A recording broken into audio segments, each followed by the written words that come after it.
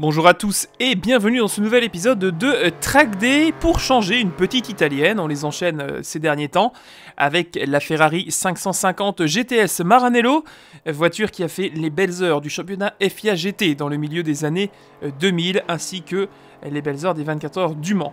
Cette voiture a été longtemps utilisée en GT1 notamment, avec eh bien, ses 600 chevaux, elle a de quoi se défendre à l'époque face aux Maserati MC12 et aux Aston Martin toutes fraîches, toutes jeunes et aux vieillissantes Corvette C5R.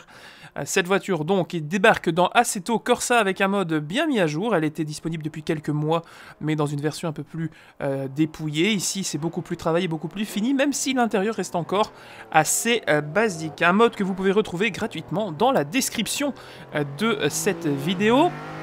Voiture qui me tient particulièrement à cœur puisque eh bien c'était euh, la reine lorsque j'étais euh, allé aux 24 heures de Spa dans mon enfance puisqu'il faut noter petit point historique que cette voiture a vu la première victoire d'une femme aux 24 heures de Spa. C'était la pilote suisse Liliane Briner. Qui s'était imposée en 2004 avec notamment comme coéquipier son mari tout simplement. Voilà une voiture très intéressante pour les fans de GT de l'époque qui rappellera également des souvenirs aux pilotes de GTR et de GTR2 des jeux qui ont et maintenant plus de 10 ans.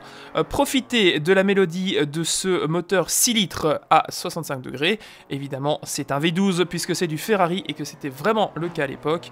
C'est parti les amis, montez le son